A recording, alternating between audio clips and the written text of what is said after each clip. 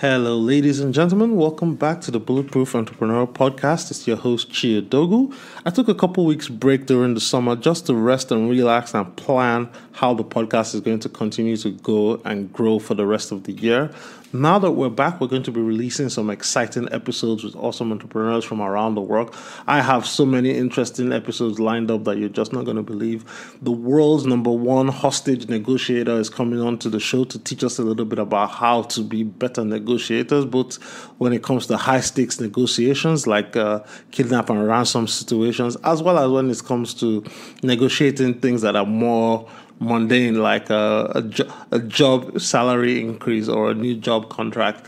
We also have a summit that we're going to be launching very soon. It's the B2B Sales Mastery Summit. That's going to launch in November. I'll tell you a little bit more about that later. But before I go on, just wanted to just say we're back, we're back, we're back. Thank you guys for listening and for tuning in during the break. And now that the break is over, we're just going to give you the live content that you guys continue to enjoy. Thank you so much to all the listeners who listen from around the world.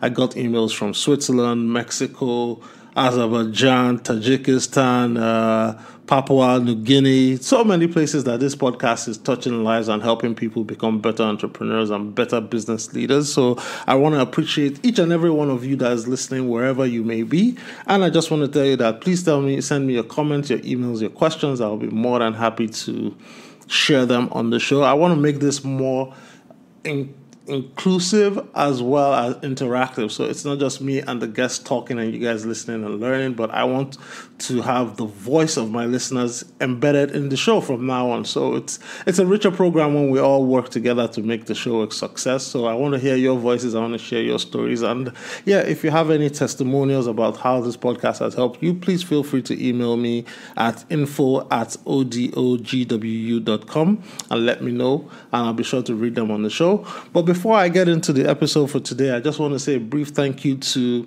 Startup Festival. Startup Festival held in Montreal in July 2019, and it was one of the best startup programs I've ever been a part of. And there's so many companies that are doing innovative stuff around Canada and from around the world. And they, these guys just all came together to share the stories, to pitch, to connect with investors, media people, and just show the world that, hey, we're doing some awesome stuff over here in the north. And um, yeah, it's really been a blast. I want to thank Startup Festival for the um, invitation to come and cover that event. It was truly amazing and exceptional. I look forward to participating in next year's event. And with that said, guys, let's get on with the interview. Hey everyone, welcome to another exciting episode of the Bulletproof Entrepreneur Podcast. My guest today is Beau Henderson. Beau is the founder of Rich Life Financial Advisors. He's a best-selling author whose books include The Rich Life, 10 Investments for True Wealth, The Roadmap to Rich Life, The Five Thieves That Will Steal Your Rich Life, The Rich Life Stewardship Principle, and Masterful Communication for Success with Business and Life with Dr. Bill Lampton. He holds a degree in psychology from the University of Georgia, but he's also a media contributor and has written for the Huffington Post, the Wall Street Journal, Reuters, Good Men Project, and a lot of other places. I brought Beau on the show today to tell us a little bit more about what it actually means to live a rich life. So, because we're not here to just, you know, go to work, pay bills, and die or whatever, you know, but we need to have a life rich in meaning, in relationships, in friendships, and also in money too, because we have to prepare for the future and we don't know what expenses will come along the way. So, with that said, Beau, welcome to the program. I'd love to hear your thoughts and opinions of what it actually means to live a rich life. Thanks so much for having me on the show and for introducing me.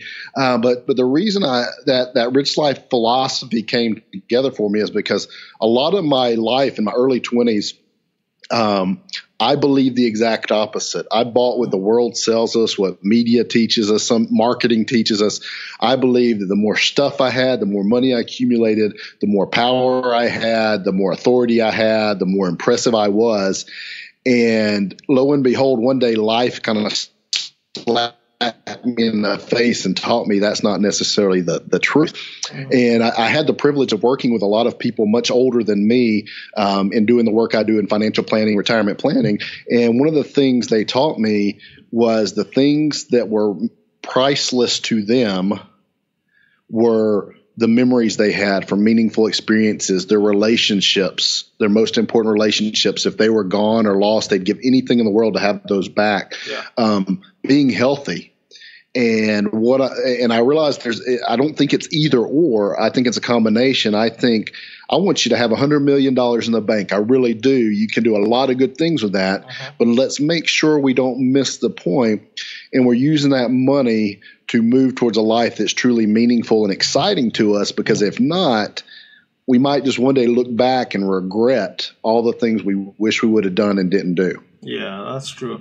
And, and it's funny you mentioned that, you know, the media teaches us that because the media, what they're doing is basically they're trying to sell us stuff.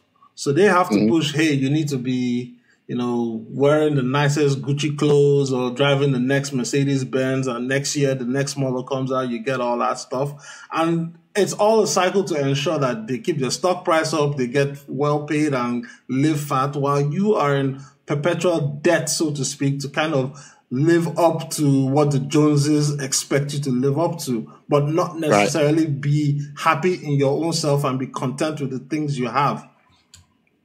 You know, I think a lot of people, um, we most I think most of us know an example of somebody that has plenty of money and they're absolutely miserable, mm-hmm. right? Yeah. So that's some proof there that money doesn't buy happiness, but I still think that's a belief that subconsciously a lot of us had. If I just had X amount more, mm. if I just was here, I would be happy.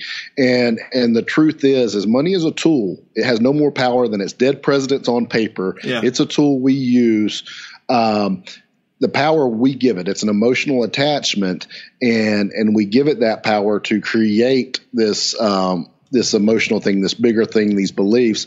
But at the end of the day, if you can't be happy with less money or little money, you're just going to magnify it if mm. you do have more or come into more. That's so right. I think that's that's the big message is is let's let's put money in its place, so to speak. It's a tool, and those who learn how to utilize that tool well are ones that have a successful relationship with money. Yeah, true. So now, Beau, tell us a little bit more about how you got started on this journey to living the rich life principles. Right. So so the rich life. So it so it goes way back. I was in school at the University of Georgia, and um, I was going to go to graduate school to be a psychologist uh-huh. because I've always been fascinated with behavior and why do we do what we do and why do we so often do the exact opposite of what we should do you know uh-huh. when it comes to to human behavior and my father passed away he passed away very young he was 49 years old and um, at that point, I went home to help mom with with his small business and, and a couple pieces of real estate, and I immersed myself in kind of some of these financial matters, and that kind of changed the the track for me, so to speak. I, I realized I could help people when they were going through transitions in life. Mm. Um, navigate that successfully and if and if there wasn't people that truly cared about people to do this the right way there's 10 people that'll show up to take advantage of them. So it really got me on a different track to the financial planning. And at that point, I was about 23 years old. And, um, I haven't looked back. 17 years later, mm. uh, I realized that the psychology and finance background actually it seemed bizarre when I was younger. Now it seems perfect. Okay. Because it, it takes both sides. There's an internal and there's an external tactical component to being successful with money. Yeah. So I, I, mean that that makes a lot of sense because I too studied finance, and in studying of finance, you understand that it's not necessarily the mechanics of you know doing a discounted cash flow or present value of money or putting your money in annuities or whatever, but it's the mindset and the inner game of saying, hey, you know what? What can I look at out there that everybody is looking at and not fully utilize it. And then how can i take the tools that i have which is like a hoe or a knife basically your financial calculator and whatnot and start creating investments that will help me take advantage of things that i've seen based on behavioral ways that people are operating. So take for example something like oh i, I don't know like during the time of the um, housing bubble I think this was mm-hmm. in the early 2000s to 2005, 2006. A lot of people were just getting loans because it, it was easy to get a loan to buy a house, right? Some right. Pe- some smart people were saying, okay, yeah, this is looking like, you know what, these guys cannot afford this. They're going to, there's going to be a problem down the road. Let me short that. So they had the presence of mind and the inner game to understand that, okay, based on the behaviors of people out there, this is not going to work long term. So I can now stand in front of it and profit from that. On your side now, looking at it from a young person's perspective and say, okay, I'm maybe graduating from college now. What can I start doing to prepare me to live a rich life?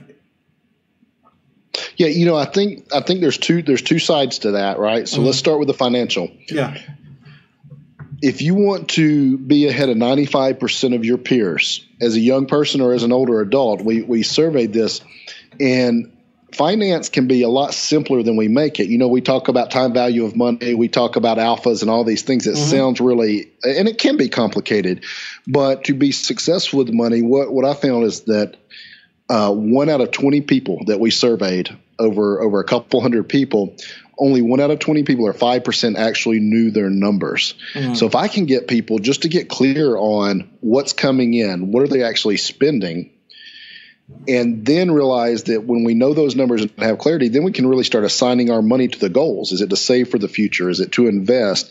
Because we all know that if we're going to, we, we want to do those things that, that we're supposed to do, but we're going to wait till the end of the month with whatever's left. There's mm. never anything left. Sure. So a simple exercise for a young person, I say, let's get in the habit of saying, hey, you know what?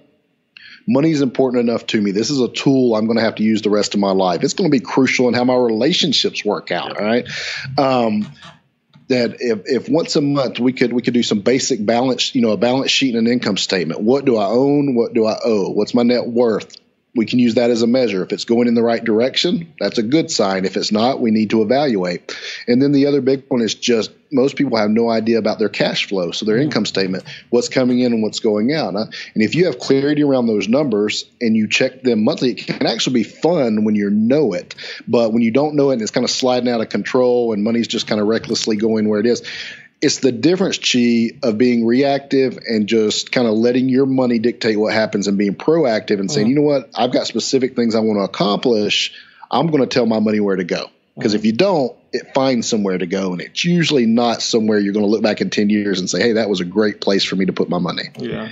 So is that where your stewardship principle comes into place, where you're kind of determining, okay, I need to have a disciplined approach in how I manage – and spend my money. Yeah, you know, stewardship's funny because there's there's definitely a financial connotation to mm. that word. We think about biblical stories, we think about other other stories, and we think, and it is there's there's a financial component there that with stewardship. Uh, really, really, the rule there is before I should be entrusted with more, mm. I should I should take care of what I have. Okay. All right. And you think about that with money. A lot of times, um, people are careless with their money, but they're complaining they don't have more. Mm-hmm. You wonder why. Maybe you didn't take the time to develop the skills to take good care of, of your $30,000 salary before somebody realized you were competent to take the $50,000 mm-hmm. salary, then the $100,000 salary. So stewardship is really, it's being, it's really being content with what you have while you're moving towards what you want. Um, I, say it has a financial component. There's a lot of things we can look at with how do we take care of what we have. Do we, you know, if you have the lowest level job at your company, do you truly do it to the best of your ability? Are you moping around complaining because you don't have that job you think you deserve? Mm. I don't know. But when it comes time to be promoted, who do you think is going to be promoted? The guy doing the best he can at that low level job, or the guy that that's um, that's moping around complaining all the time? Right? There's a stewardship example, but it also applies to everything from our relationships to our health to our physical stuff. It's hey, before we're ready to have that that next thing, that bigger thing, then I think what happens a lot of times people get so focused on what they want they kind of neglect what they have. And uh-huh. when you do that, it often prevents you from getting what you want. So it's kind of a cycle. So, so I like that stewardship principle because it kind of teaches us to, as I said earlier, be content where you are, do the best with what you have, and move towards what you want. Oh, okay. So now, in doing the best with what you have right now, a lot of people say, "Okay, yes, that's fine and great, but you know what? It's right. fifty thousand, is sixty thousand dollars. You know, there's really not a lot room there after taxes and rent and all that stuff. So how do I make the best with what I have right now? Well, I think the key is is once we know our numbers, we know exactly what's coming in, what our expenses are, what has to go out. Okay. And there's things going out that are necessary. There's things that are discretionary, and um, we can start choosing. Would I rather do some of these discretionary things, or would I rather invest in my future? Would I rather put money in a Roth IRA? Would I rather um, take this extra money that I that I and and knock out any debt I have remaining? Would I mm-hmm. rather play, apply a little extra to my student loans. So I, I think the key is is to make your priorities very clear. So say those are my priorities to invest for the future, pay off the debt I have, and, and work on paying my student loans down. Mm. Then I need to do those first. I need to I need to say, okay, that's going to take me five hundred dollars to do those three things. That needs to happen first, and then what's left is what I have to live off of. When mm-hmm. we can learn to make our priorities truly the first priority, um, then's when you see people really start moving towards their goal. Again, the the typical thing you're going to see is people say, yes, those are things that are important. Those are things I want to do. But they wait and see, well, I'll do that with what's ever left. And there's, a, there's nothing ever left, right? Mm. We find a place, the money goes somewhere and it's, you know, it's often siphoning out into, you know, eating out maybe um, twice as much as you should a month. I okay. mean, buying things that you could maybe wait another six months to buy. So it's just it's just what's a priority, and that's another good question, Chi. I think to ask yourself is if I'm making this decision to do this this short term financial move versus um, what I'm saying is my priority, is it truly my priority? Mm. And if it is, I'm out of integrity. If it's not, then I, I need to quit saying it's a priority. Mm. So basically, your actions will determine what your internal um, condition or makeup believes that you're doing. Right. Okay. That's it. Yeah. So, what about when you hear things like, okay, I know some gurus on TV will say, okay, yes, you know, for you to make more money, you need to cut out those $5 lattes and whatnot, you know, and then there are other gurus on the other side that will say, hey, it's not about cutting the $5 latte, it's about doing things that will get you more income because more income means you can enjoy the little things. So where is the balance between the two? Right. Now, I think you you said it right. I think it's a there's a balance there, right? I think it's important that we don't. If you let your expenses get out of control, you're going to have to do 10 times as much work to to accomplish the things you want to accomplish. I'm not ever going to not I'm not ever not going to enjoy um, a latte if I want to mm-hmm. right? Mm-hmm. Because remember, part of this, part of this rich life philosophy, it's you know this idea of putting your head down for 20 years and then reaping the rewards. You know, the business I do with with retirement planning, I've seen people do that and they don't make it 20 years. Mm. So part of it is is you know we want to enjoy the journey too. So if, so if that cup of coffee, that fancy cup of coffee makes you happy, all means have at it. Um, and so, so to that extent, I'm saying that five dollars a day you're spending, yes, mathematically that could be 150 dollars a month. Mm. That in 40 years we could turn into a million dollars at a 10 percent. You know, the math works there, but to me, it's easier to spend my five dollars and um, but just make sure it's budgeted in my cash flow, and then go um, find a way to earn the money that it takes to make that. I've got a discretionary budget. That coffee is mm-hmm. part of it. I need to create an income that supports that. Mm-hmm. If I can't support it, I might only be able to do it twice a week. Mm-hmm. Okay. But yeah, to me, there's a balance, and you got to enjoy life because all this stuff we're talking about fulfillment, happiness, hundred million dollars or nothing. Um, if we're not enjoying the journey, we're waiting for some destination mm. to be happy and, and, to be fulfilled. And to, um, we're going to miss the whole point of it because the whole point of it when we're moving towards a goal or a destination that's life. Yeah. Right? And i think most of us want to live a happy meaningful fulfilling life. Yeah. True. True. Now you've written nine books and you've worked with over 30,000 people to help them you know understand their true relationship with money. So what are the common mistakes you've seen and what are some of the interventions you've brought that have helped people transform their financial lives yeah, I think we've hit on some of them. One of them mm. is um, uh, a sim- the problem with that not knowing your numbers, mm-hmm. I call it the ostrich with your head in the sand technique, and that's okay. basically I'm going to bury my head and not think about it and hope everything turns out okay. Okay, it's a horrible financial plan, but that's a lot of people's financial plan. Yeah. They just don't want to deal with money, um, so that's a big mistake. And you see people carrying around stress, fear. Um, you can almost see it like it's on their shoulders, uh carrying around these money concerns and worries. And one of the things that it came up on a radio interview I did earlier today is when you're when you experience fear, anxiety, doubt around money, this this negative emotion, there's one antidote that I found that works, and that's clarity. And it goes back to mm. let's get really clear on where we are, let's get really clear on where we want to go, and let's come up with some action items to start moving towards it. So any of those negative emotions that that we see out there, it's usually a matter of going back to the basics, getting clarity, and moving forward. Uh, so so those are some of the big things. You know, I, I see a lot of um, not communicating in relationships. If you have a mm-hmm. spouse or a partner or whatever, and you're not having conversations about, hey, here are my beliefs about money, here's my experience with money, mm. and let me know yours. It's a very mature conversation to have because if not, if we don't do that, we have a tendency as humans to think, your experience, your beliefs, and everything are exactly the same as mine because that's what I know and understand. Mm. And you can guess the conflict that causes in relationships. And that's why money can be one of the biggest um, causes of problems, divorces, and all that kind of stuff. Yeah. So communication about money. And um, Wait, again, I so, think if so. One second before we move off that particular topic. So how do yeah. you get how do you get two people that are on different understandings of money on the same page? Because on the one hand, I've usually seen where the guy or the girl is very smart and sharp with money, but uh-huh. then the other person is very loose with money. So I had an Uber driver the other day. and He told me, oh, that his wife is phenomenal with money. They have 4 mm-hmm. years to go on paying off their house. She manages all the money in the house, and he just, you know, he lives a carefree life. He, if he wants to do anything, he has her permission, and then they, she plans out what the family is going to do in terms of money. So how do you get two people to get on the same page when they're so diametrically different? Right, you know, and that's funny.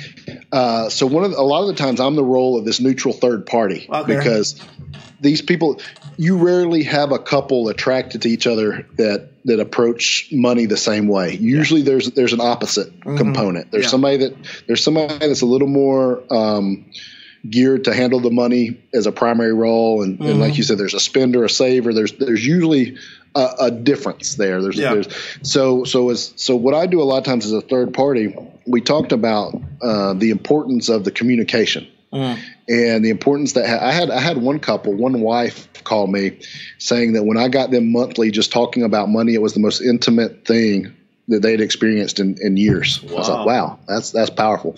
But how do we do that? So what we have to do is, and this is tough with relationships, right? Um, relationship partner A, relationship partner B. Here's my deal. One, I've got to make sure her partner understands where she's coming from. Okay. Here's my beliefs. Here's my behaviors. Here's how. I, here, here's who I am because that's what it is. And then partner. Uh, then I got to make sure partner B communicates and, and partner A knows those things. And then what's going to happen is there's never a you're right, you're wrong. It's based on the dynamic of your relationship, how you both interact with money, your beliefs, your behaviors, your patterns. Where's that middle ground that's going to work for this family? Mm-hmm. So usually, usually there's a give and take a little bit. Okay. And hey, the guy that's a, that likes to spend a lot of money, you're probably going to have to give him a budget to spend, or he's mm. going to be very miserable. Okay. Um, the lady that tracks every dime, you're probably still going to have her tracking the budget for the family because that's something that she's kind of wired to do. Yeah. But I think the key with a family is to um, get them to respect their differences and say and and then say okay where where's that spot that we can meet this this to work for our family mm. because as long as it's I'm right or you're wrong or you're wrong and I'm right it's always going to be a lose. Mm. Mm. And have you found your interventions to have saved marriages and relationships in the yeah, few years? I, like working? I said, that comments comments like yeah. we talked about. Um, wow, we've never had such good because most of the times couples just don't talk about money. Really? Unless, right? They don't talk about money unless it's coming up usually in a negative or stressful True, context. True, true. So that gives it that energy we talked about earlier, that energy that it's bad, that it's stressful and all Yeah. this. So when you talk about it just because, hey, once a month we talk about this, you start taking away that negative energy because Yeah. it's just a tool now. You Yeah. start transitioning to a tool from this negative energy. So um, yeah, no, I, I've had great. Uh, another thing is just the that's been very powerful is we talked about one one partner is usually more involved, the other less involved. Getting that other partner that's not as involved, at least to know what's going on, it's powerful Mm. because they don't feel like I'm just blindly kind of don't really know what's going on. no. And as you get later in life, heaven forbid something happens to one of the partners, it's very good and very powerful that they have an eye. They know what the the plan's been. They know what they've been doing. They understand a little bit better. Okay. Okay. Now, um, I love that we're talking about the subject of money and relationships because that triggered a memory. I, I listened to a podcast, I think, with Tim Ferriss and um, Ramit Sethi, who's into personal Right, right. fi- finance. And Ramit was talking about how before he got married to his wife a couple months ago, he brought up the topic of um, prenuptial agreements that uh, they both kind of have to sign. And there was this whole big ordeal before they both eventually signed the prenuptial agreement. So now I'm thinking, okay, you know, young people listening to this, you know, mid 20s, mid 30s, going forward, thinking, okay, you know what, I'm trying to earn as much as I can. You know, I don't know what the future holds. Um, I don't know. Well, they say 50% of marriages end in divorce. Is it a good idea for somebody starting a new relationship to think along the lines of hedging their bets at the beginning of the relationship on the financial side? You know, most of the time, it's a funny question. I mean, it's a good question. Uh, most of the times, uh, say, say as a younger person starting a relationship together, and you truly are building a life together, meaning you're, you're building a business and this partner's there. I don't see as as much uh, of the the early prenuptial agreements. Now, in Ramit, Ramit's situation, he's accumulated a lot of assets. Yeah. So he's bringing a lot of assets into the picture. Yeah. So I, I see that more, especially with with a little bit older demographic I work with sometimes, that um, you show up into maybe a second, sometimes third marriage, and you're bringing your business, your assets to that table. That really wasn't built together, and that really wasn't something that person. So um, the prenup is can protect you because you know, you know as well as I do. A lot of um, eh, depending on the luck of the draw and how court goes and the attorneys go, you could show up and a year later have half of your assets removed from you Yeah. if things don't work out. So I think to, to me, in my role as an advisor, it's it's if you're showing up, we got to take some of the emotion out of that conversation and say, hey, is this a move to protect you? Okay. But uh, I don't really see. It's a little different if if we're showing up without you know two dimes to rub together and we're going to start this thing. Yeah, Yeah. yeah, it's a little different, but yeah, I do, I do see where it's valuable, but I think, but it, but it's a thing. It's just like so many of the other things we're talking about right now. Mm-hmm. Chi is, is you got to remove the emotion from that conversation because that really is. It sounds, it sounds harsh, but that's a business decision. Okay. Okay. You know, Yeah, no, I mean that that makes sense because I have been in situations where we're discussing it as young men, and everybody's like, "Oh yeah, well you never know. I might want to protect myself," and I'm like, "Dude, you barely have a hundred bucks in your pocket, home and abroad. that's right. That's right. so what are you Gonna trying to millions. protect?" Yeah. Cool, awesome. So as we start to wind down the show, Beau, um, I have a couple of wrapping up questions for you. So I guess my first question is this: you know, looking back on the trajectory of your career thus far, for someone that has achieved the level of success you have as an advisor, and then somebody listening to this podcast thinking, "Oh wow, I like what Beau has said," and you know what, I think I would also want to follow in the path of becoming a financial advisor myself. What do you think? Would have helped you achieve success faster? Or what do you think you could have done differently that you should have done? I, I think the biggest thing is it, specifically this industry, but I'm sure that it applies to a lot of things. Is that um, th- there's a couple of, of steps, right, to do what I. Uh, Rich Life Advisors is an independent firm. Um, but I think the first thing you do is you get in with a with a company. A lot of times it'd be like a big name company um, that has good training programs, so okay. you can learn. You get your licenses. You you you learn the business. You learn how to do applications. You learn how to have conversations with people, and so I think that is is maybe look at a big company to start with. But what happens then is eventually you're as long as you're a student of your craft, you'll outgrow that company. Okay. And and what I mean by that is is once you build a, a little bit of a client base, um, you don't need to trade off the trade off of having the big name behind you, mm. and and you can go do an independent firm. But I think early on, and for some people, staying in that that place the whole career makes sense and works for them. But I think that would be where I go is just get some experience. Don't don't look for it. I think what I see a lot more and more coming out is people get out of school looking for their dream job. Yeah. And sometimes, you know, and that's frustrating when, when we, we brought on new associate advisors, they say, Beau, this looks great. You're out doing all this stuff and, and you have these clients and blah. Like, that's great. And, and they get frustrated when they're not there within six months. Mm-hmm.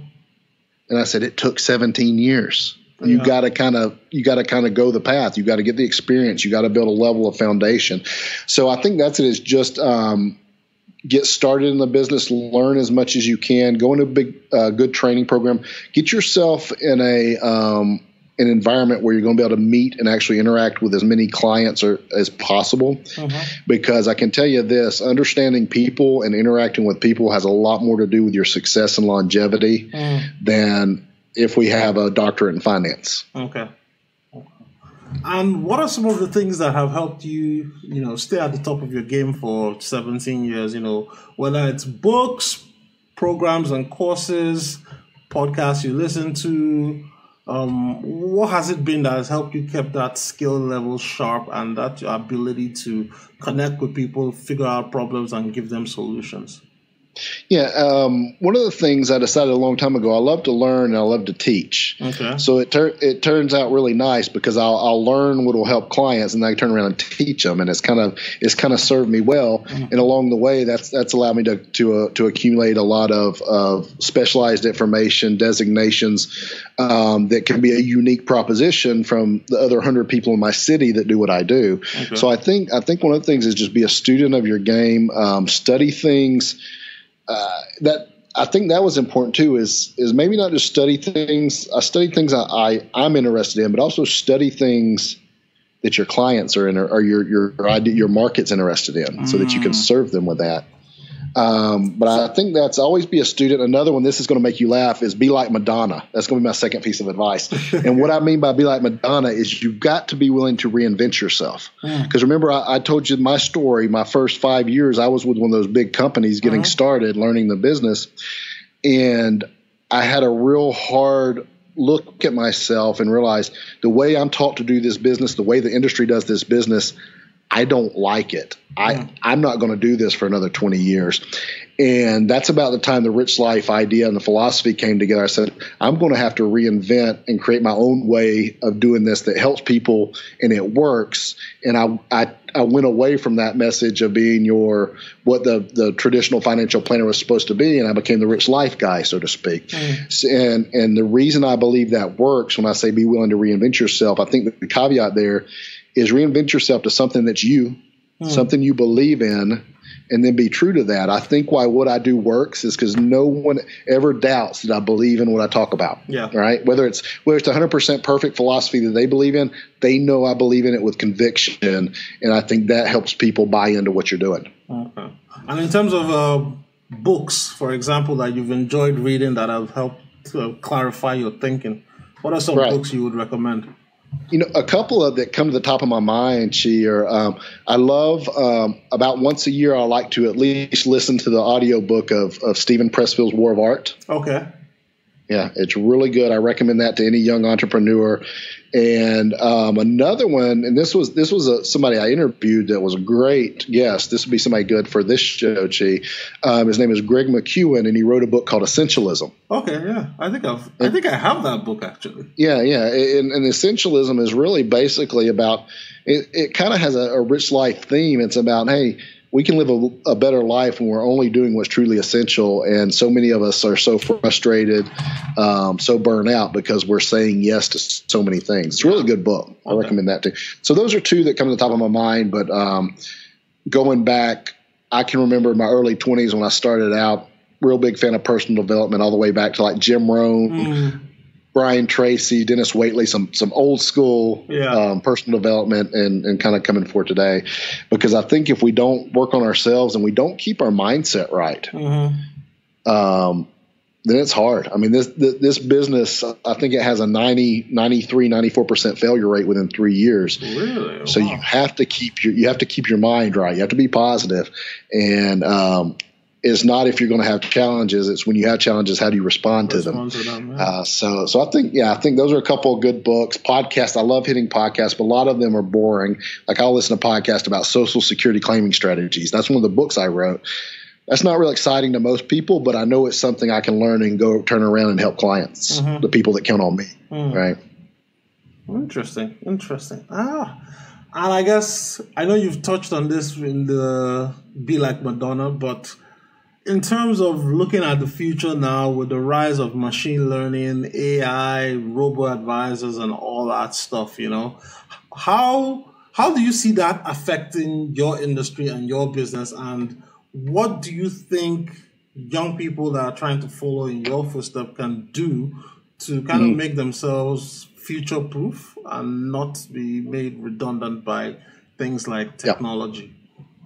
Well, the opportunity for a young person in this industry is phenomenal, and I think the message is because the people that need help. I mean, this is when um, I'm talking to somebody, I'm interviewing somebody, that, another financial advisor. It's always funny to me when they feel like we're competition. Because I, hey, hey, hey, brother, if we helped everybody we could with every minute of every hour, there's still 10 times that many people in our city that need help. So, I mean, yeah. there's, there's just tremendous opportunity for helping people with financial issues. Um, I, I think that the key with future proofing, so to speak, is to embrace technology but don't avoid it, right? So, so embrace it, use it for what it is. Um, I think a, a, lot of the older people in this industry still they try to avoid it, and it catches up with them and it bites them. But if you'll embrace the technology, but also realize that when you're dealing with emotional things like people and like money, mm-hmm. there will always be this thing. They need competency, they need trust, they need somebody that can listen. So I think uh, you know they tried that uh, a few years back to go all robo advisors, low low cost, mm-hmm. uh, machine generated portfolios. Now, could I use those things? And I do sometimes to, to help somebody's portfolio. Yes, but that doesn't replace a person that's sitting here helping you with a strategy to know where to plug in that robo advisor. Mm-hmm. So I think the key is to is to say, hey, if I'm a high touch person that really likes helping people, and finance is exciting to me. Uh, and even you might even say is coaching exciting to me because I do just as much coaching in this role as I do financial planning. Um, I think that's those are the two things I'd say: embrace technology, utilize it, but always remember this is going to be a human business because people don't want to trust their money necessarily to to a machine, so to yeah. speak. Yeah. You know, because this is an emotional. We're dealing with two emotional things: yeah. humans and money. Yeah, yeah. And with that said, Beau, we've reached the end of the show. It's been a pleasure talking to you about, you know, crafting your life to live a rich life and learning about the art of managing and making money. Um, any final words of wisdom for listeners out there in the audience? You know, I think let's just let's just wrap up with it with what what the rich life really is, and um, we talk about your definition of a rich life. Now, here's the beautiful thing about that is and why this philosophy has worked so well is that I can't tell you, I can't come to you and say, hey, Chi, this is what you need to do to have a rich life. Mm. But we could have a conversation and talk through. And when I see your eyes light up, when I see you talking fast, when I see that thing that really is meaningful to you, mm. that's a real good clue that that might be the life we should start moving toward. Okay your definition of a rich life. So it's always fun for me to ask listeners, to ask to ask clients, to ask guests, what's your definition of a rich life? Because it's really fascinating to learn what really is important to somebody. Yeah. And and and the problem I see out there in this country today, and why why I keep bringing this message is so many people are just sleepwalking through life. They're going through the roles. They're a parent, they're a student, um, they're they're an employee, whatever that is, and they're just kind of sleepwalking through life. And I and that's a very reactive way uh-huh. to go through life. And I can tell you, as a little bit older guy, is that one day you wake up and ten years went by like that. Yeah. Twenty years goes by like that. Um, so the rich life message is really a call to, hey, this is important to me. I want to live a life that's meaningful. I want to live well. I want a fulfilling life. So I'm going to proactively control, just like our money we talked about earlier. I'm going to proactively make the investments, uh, utilize the principles that are going to ensure mm. that I'm enjoying life. And one day when I look back, I'm going to say, you know what? There's not a thing I regret. Yeah. Cool. Awesome. And where can people find you and learn more about you and how to live a rich life? You know, I think a really good place to start. Uh, my publisher did a really cool thing. Um, if you go to richlifebook.com, the, the very first book, and it's still my favorite book, it's The 10 Investments for True Wealth. It's really the foundation and the philosophy of what we've been talking about. Uh, really, the art of living well. Um, you can get Rich Life, you can get the, the 10 Investments book for, I believe, six ninety five shipping and handling at richlifebook.com. And I think that's a really good place to kind of just start learning about this idea and philosophy. And of course, um, if you want to get in touch with me, richlifeadvisors.com is our website. Cool. And I'll be sure to put that in the links in the show notes once this episode is published and ready to go live. So thanks a lot for coming to share your story, man. I truly appreciate you taking the time to do this. Hey, Chi, had a lot of fun. Thanks. And there you have it. Thank you guys for tuning in to listen to Beau Henderson tell us how to live a rich life. And you can get more from Beau Henderson by going to his website, which is www.beauhenderson.com. That's B E A U Henderson.com or therichlife.com. And you can learn more about Beau and his business and what he does to help people um, get out of debt and live a financially prosperous life. Also, you can also go to my website to get in touch with me to learn more about what we're doing with the show and with the program. Or if you want to get tickets for our B2B Sales Mastery Summit, which is going to launch in November, you'll be hearing a lot more about that in the upcoming episodes. But you can go to www.odogwu.com forward slash B2B SMS. And with that said, I'll see you in the next interview. Ciao for now.